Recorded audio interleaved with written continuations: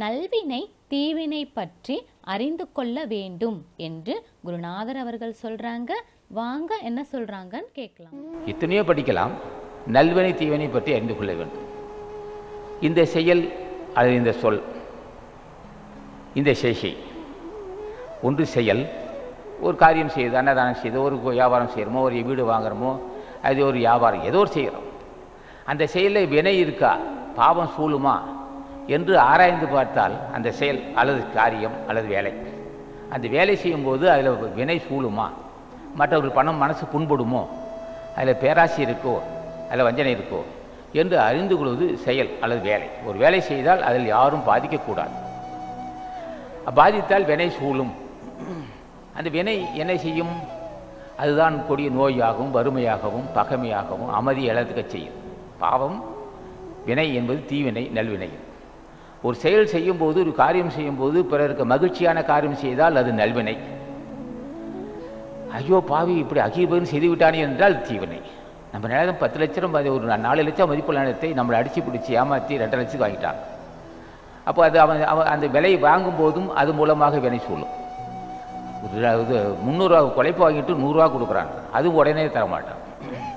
அப்போ வேலை வாங்கும்போதும் சரியான கூலி கொடுக்காவிட்டால் அதுவும் வினை தான் ஆக ஒரு பொருள் வாங்கும்போது அல்லது வேலை வாங்கும்போது அல்லது பொருள் விற்கும்போது. ஒரு பொருள் விற்கும் போதும் இப்படி இவ்வளவு கொடுமையானது.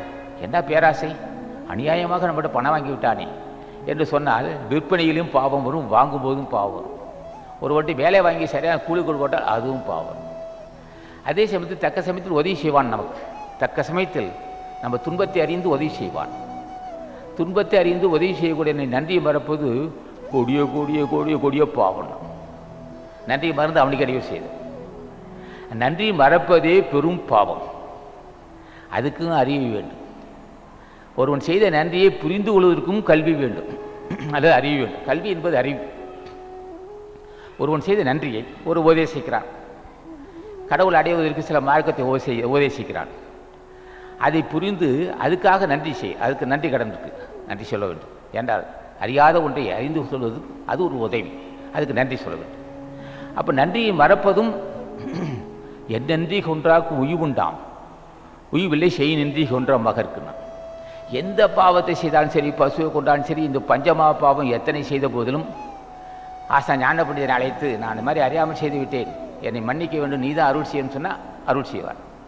வல்லவனே ஒப்புக்கொள்கிறான் அது என்ன பாவம் செய்தாலும் சரியா?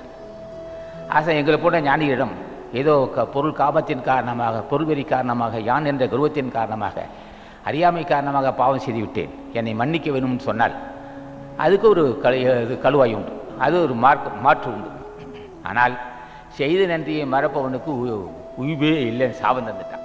ஆசானது அருளுரைகளை தொடர்ந்து கேட்க அரங்கர் டிவிக்கு லைக் பண்ணுங்க சப்ஸ்கிரைப் பண்ணுங்க. மறக்காம பெல் பட்டனையும் கிளிக் பண்ணுங்க.